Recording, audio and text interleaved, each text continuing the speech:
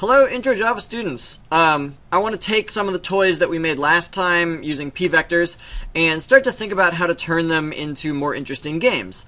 So last time, our experiment number four was the following program. When you click, it creates a new ball object right at the lower left-hand corner of the screen, and it creates a new force vector that points toward wherever the mouse is.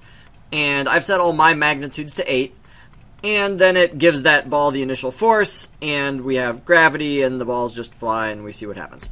So what I'd like to do is I'd like to modify this so that enemies slowly generate and come at us from the right-hand side of the screen, and I'd like to see how can we see if the cannonballs are hitting the enemy objects, so that that way we can have them destroy each other. So let's start this way. Um, I've just renamed mine to Castle Defense. Um, everything else is the same. So we've got an array list of ball objects, which we're creating in setup. Inside draw, I loop over the whole list. I get a ball object out of location i. Here I create a new gravity p vector, um, which is uh, a vector that's just pulling us down. And I add that force into the ball object. I draw an ellipse where the ball object is located, and I have it move. All right, here in mouse released, um, this is where I create a new vector that's pointing towards our, our mouse location.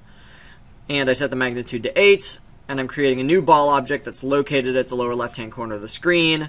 And I add the, the initial velocity in, and then we put the ball in the list so that that way um, it will be drawn in the draw loop up here.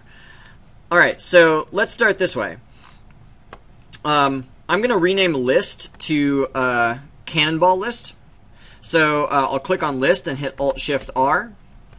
This only works inside Eclipse.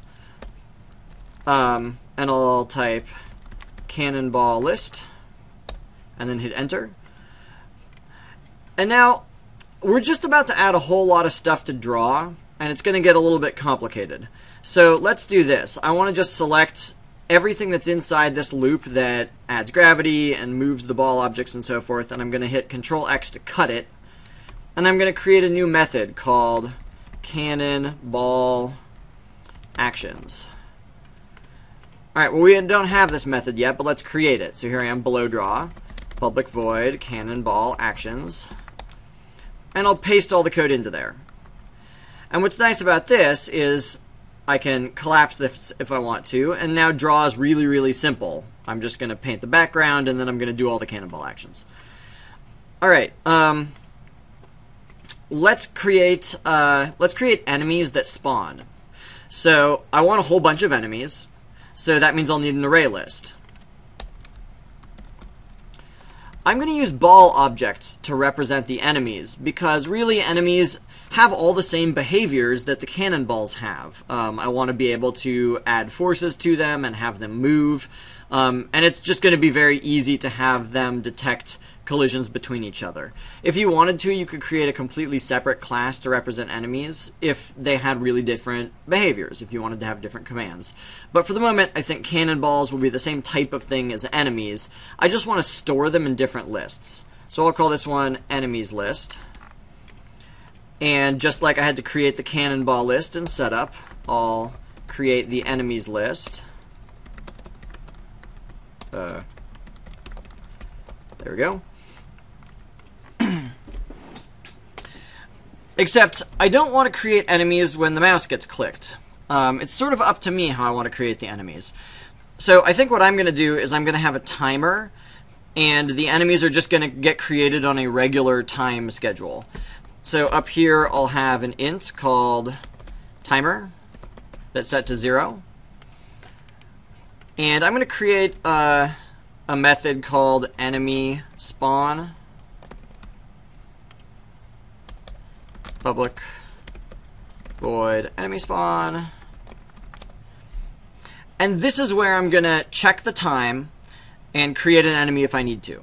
So the first thing I'm going to do is I'm going to add one to the time. Did I call it timer? Yeah, let's call it time. That's better.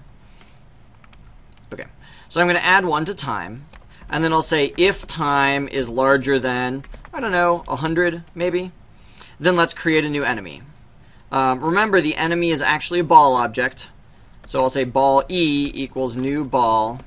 Alright, so now I've got to figure out where do I want to create it. Um, I want enemies to get created off the right hand side of the screen. So I'm going to create my enemy maybe at 650 uh, for the x coordinate and 580 for the y coordinate. And I'll create it with an initial speed of 0, and we'll create them with a diameter of 25. Um, I'm going to create a color for my enemies,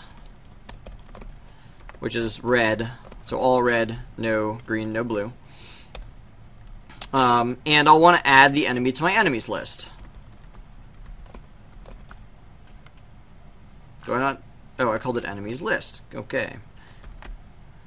Enemies list.add. Great. Um, am I missing anything?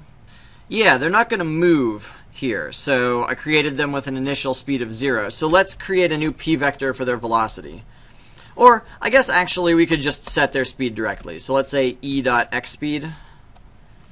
Let's see, if I want them to be going to the left, I know I need a negative x speed. Maybe we'll give them a negative x speed of 0.5. And I gotta make it a float. Alright. So, let's double check. We increase time. We said if time is bigger than 100, we'll create a new enemy ball. We'll make it colored red. We'll set its speed so that it's headed to the left, and we'll put it into our enemies list. Um, I guess the last thing we need to do is reset time. So I'll set time back to zero, so that way the next time enemy spawn happens, we'll be counting up again from zero. Alright, so far so good. If you run it though, you're going to be disappointed, um, because even though we're creating enemies and we're putting them into the enemies list, we're not actually displaying any of the enemies yet. So let's make a method called, here I am back inside draw, I'm going to make one called display enemies. You know what, you can hover over it and you can actually say create method display enemies if you want to, and it'll just create it right here. So this method should essentially do the exact same thing as cannonball actions, except without all of the business of adding in gravity. Um, I guess that's the only thing we don't want. So I'm going to let you create this portion, but essentially you're just going to loop over your enemy list, you're going to get out an enemy, you're going to draw an ellipse right where the enemy is, um, you're going to have the enemies move themselves, and I think that's it. Okay, Good luck, tune back in next time to see how can we make collisions happen between the cannonballs and the enemies.